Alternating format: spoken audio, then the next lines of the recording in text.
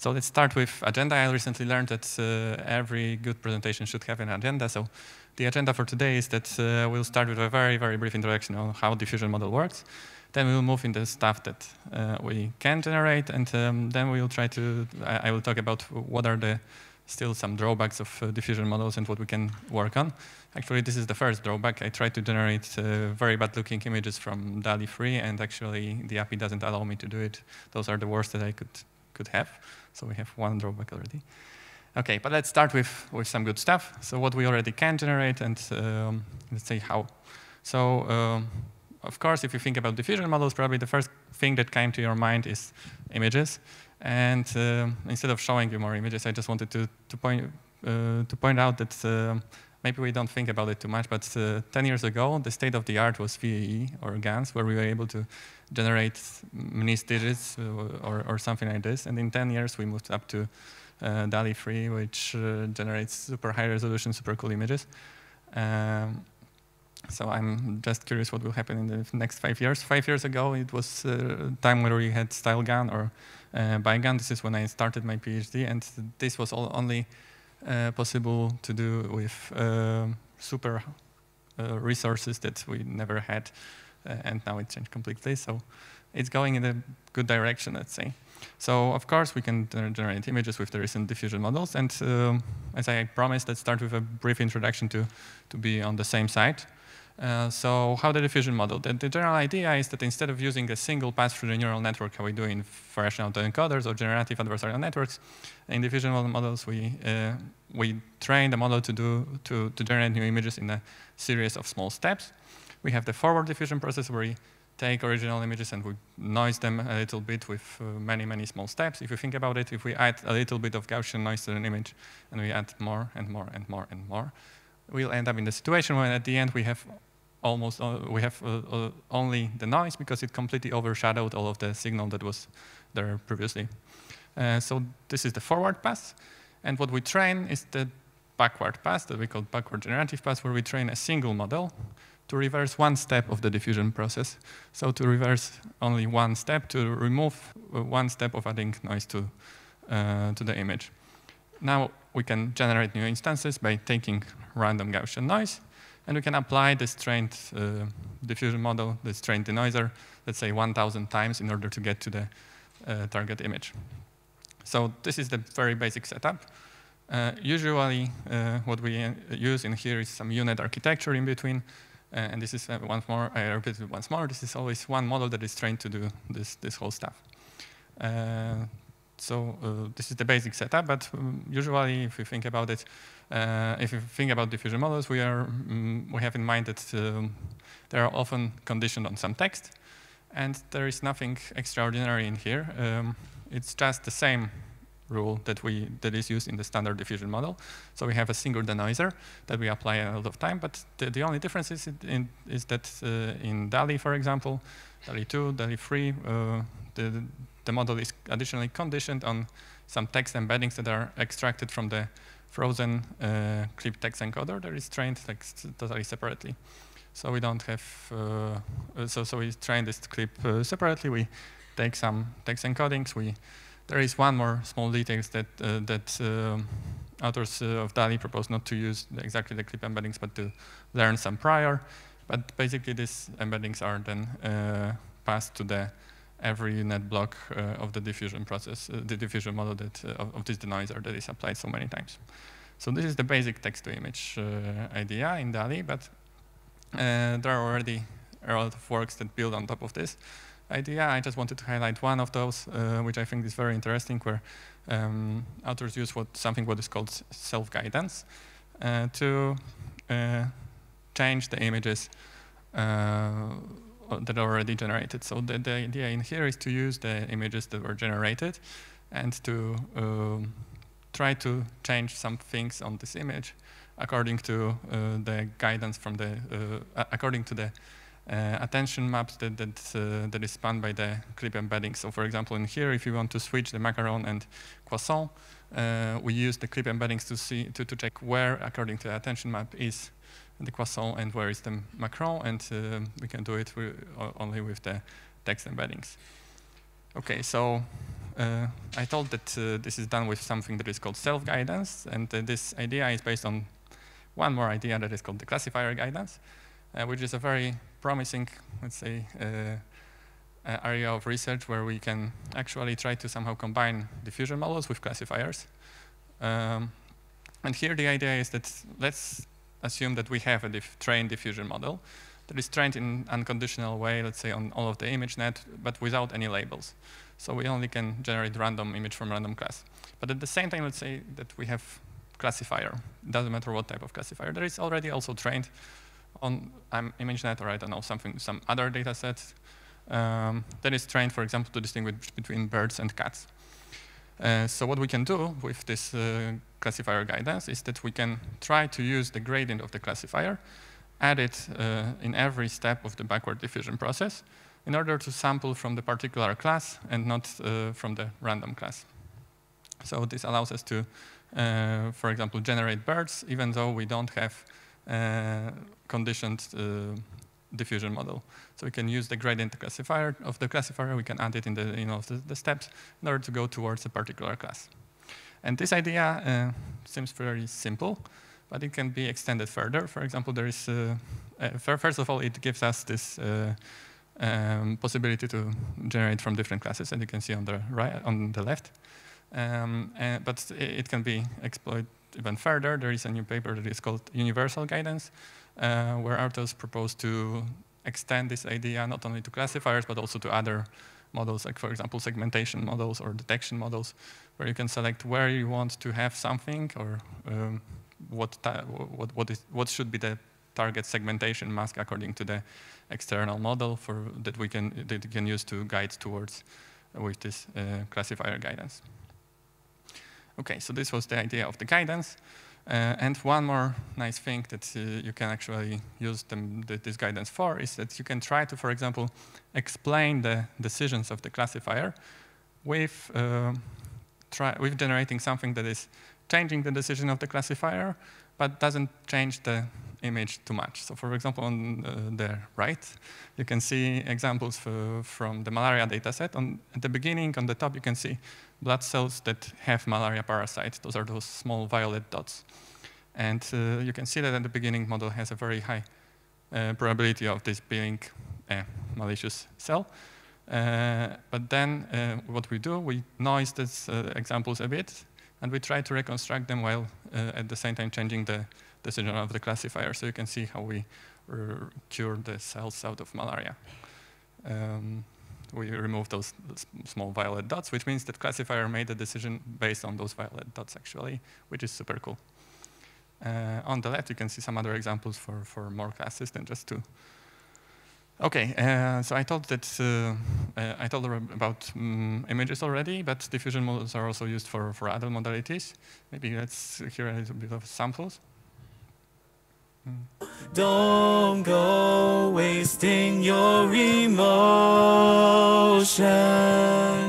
Lay all your love on me.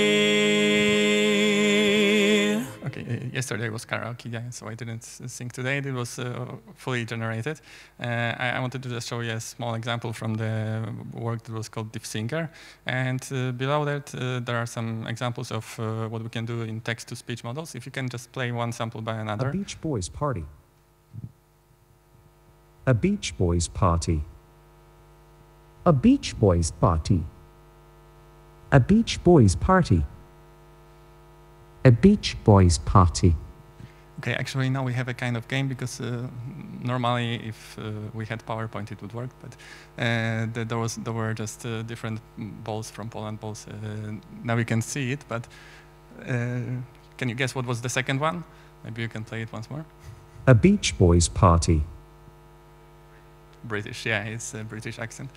a Beach Boys party. This one? Indian, okay. a Beach Boys party. Yeah, this was Irish. Oh, this a Beach Boys party. Okay, this was Welsh. uh, okay, so uh, this was a simple example of how we can uh, condition diffusion models. Uh, in this case, we condition it only on the accent, and we were able to generate uh, examples with exactly the same speaker, but with different accents. Um, so um, the idea in here is very similar to, to this text to, uh, to this uh, generating uh, images, because basically uh, uh, generations, uh, basically speech is kind of an image, at least for me, sorry. because what we worked on was text, was spectrograms. I don't want to go into details on how speech synthesis works, but I wanted to point out very, one very interesting work that we also based our approach on, which is called GradTTS. And here there is a very interesting part that might be applicable for out of uh, also for other domains. And the authors in here propose to use um, some very simple model. Uh, as you can see here, it's very, very simple, uh, to generate uh, the average uh, spectrogram for a given uh, words. Like for example, here you have hello, hello world. So the spectrogram, average spectrogram would look something like this. This is this sounds very bad if you try to change it back to wave. Uh, but what authors proposed is to use this as a starting point from the, for the diffusion process. So you can uh, generate those average examples and try to learn the diffusion process to go from average examples that are actually noise to the normal distribution with those uh, this average as a mean and go from this to the original example. This is very uh, interesting work because it allowed them to reduce the number of diffusion steps to just 50 and the, the, the uh, results were already very of the very, very good quality. Uh, okay, um, as a last uh, example for uh, yet another domain, uh, that there are some works on 3D, uh, in 3D domain that I wanted to point out. I don't want to go into details of those, but there is a very interesting, okay, there are much more works that, that are interesting, but I selected just two that uh, where in the first one, uh, diffusion models are applied to edit NeRF uh, scenes. There are, those are actually 3D scenes, not the videos. Uh, and in the second one, then a very interesting uh, approach is to, to generate rotate images uh, by simply generating image of the next rotation while conditioning on the current approach with and the and the different the difference between in this pose. Okay, so this was what we can generate, and now let's move to several ideas of what we can still improve. And there is one interesting um, uh, problem of diffusion models that we can uh, tackle. Uh, so I, I, don't know if it's, it's not very common to, to talk about it, but actually, if you think about data, uh, there are some examples. If you think about one example, something similar to the talk that we had uh, just, just before, we had um, some of the examples that come from the high density regions like those in here, for example, if you consider only uh, lanterns for Halloween, and examples from low-density regions. So also true, valid examples, but they are from, um, from the region that, that is very diverse and it's not compact. Uh, and if you train a diffusion model on this kind of data set, it will uh, over, let's say, uh, it will focus mostly on these high-density regions.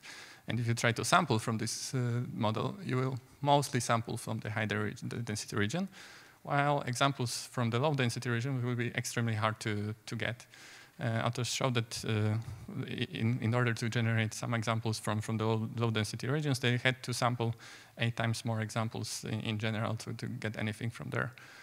Um, and uh, in this work, in this particular work, if you are interested in how to try to mitigate it, uh, they propose to use the classifier guidance that I showed earlier to, to sample from these low density regions. But this is just the solution, not the, the answer to the problem. So one of the possible solutions. So uh, I think this is still an interesting uh, thing to, to, to discover further. Um, there is a big problem of diffusion models uh, when it comes to discrete data. Um, so the, if you think about it, the forward process of the diffusion, uh, where we add some random Gaussian noise, uh, does not naturally support discrete data because there is nothing like, um, let's say, in the dis discretized data, there is no state in between of two possible discrete values. Uh, so this is why, for example, you don't see a lot of works on diffusion models in text. Of course, there are some, I, I will mention this, but uh, it's not like uh, you have super uh, performance of diffusion models in images, uh, speech, and videos, and there is almost nothing in terms of text. Uh, there are some approaches that try to deal with this. I just mentioned them, them here. Uh, for example, based on this uh, second approach, there is already also diffusion BERT, but what authors showed was very limited evaluation there, and um, they, they highlighted some limitations, like for example the fact that they have to fit all of the synthesized um, approach to uh, synthesize data into uh, the model, so it's uh, quite problematic. Another interesting approach is what is called Bayesian flow networks, which is a new work by um, Graves et al. Um, that uh, that is very similar to diffusion models, but encodes several interesting uh, properties, and directly solves this problem of uh, modeling discrete distributions.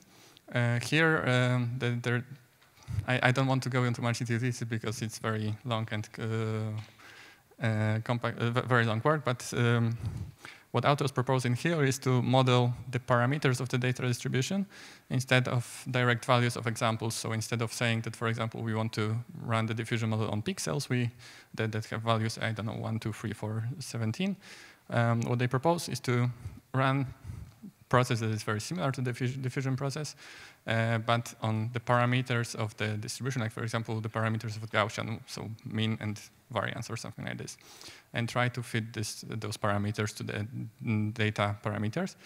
Um, they also used Bayesian inference for updates on independent distributions, but uh, there is a very clever trick to somehow combine those independent distributions, like for example independent pixels through, uh, together by passing them all together through one neural network that learn on the or the independencies, uh, interdependencies. If you're interested in this work, we have an expert on uh, on this, uh, one of the PhD students that I uh, work with, and uh, you can find him later on. Um, finally, not finally yet. One more thing is that we still struggle a lot um, with diffusion models if we would want to generate anything fast. Um, and the state-of-the-art methods can use up to 4,000 diffusion steps. So if you think about it, if you want to generate one thing, you have to pass the random noise 4,000 times through the uh, denoiser, and this is still problematic. For example, if I, I wanted to synthesize this toucan on a simple GPU, it took me 10 minutes, so it's quite problematic. And there are some works that try to uh, to solve this problem, so it's not like it's uh, no, no one done, did, did, nothing here, but uh, so for example, there is work that is called the EM, uh, which uh, proposed different uh, sampling procedure and uh, works on distillation that use the sampling procedure to distill big networks with a lot of steps into big networks with, more, with less steps. And this worked pretty well. The, the second work is actually based on the first one. Um, okay, I don't have much time, so I want to mention the last fin uh, final uh, interesting opportunity of what you what, what what we can still do with diffusion models, and the problem is how to actually fine-tune those models. Uh, so, if you think about uh, big diffusion models like the DALL-E, for example, and uh, the fact that the world is still changing. Uh, and for, for example, you want to generate celebrities or something like this, it might happen that we have, I don't know, new a super cool football player that we want to be able to generate. And normally, uh, if you take 1,000 photographs of this guy and you want to retrain the model with, with those additional 1,000 photographs, it's very problematic. So we have to somehow learn how to fine-tune those big models. Uh, what people do right now, uh, I, I'm, I don't, I'm not sure because uh, I think they, they, they, don't reveal their secrets, but for what I learned is they use some basic continual learning uh, methods like adding some additional um, parts of the model or retraining with some random mm, samples from the previous uh, data set not to suffer from catastrophic forgetting. Uh, but there are two works that I wanted to mention. One is, is actually using this thing to the, this problem of forgetting to uh, allow you to use your own photographs uh, in, some interesting uh, setups. And the second one is uh, to use the same thing, fine-tuning, to actually forget some examples that we don't want to our model to, to, to know, like, for example, celebrities. OK, so just to conclude, the progress of generative models is very uh, extraordinary, but there is still something that uh, we can do. And uh, I'm always happy to, to share with you more details about uh, my works that were somewhere, somewhere there and, or, or some other papers that I think you find interesting. Okay, thank you very much.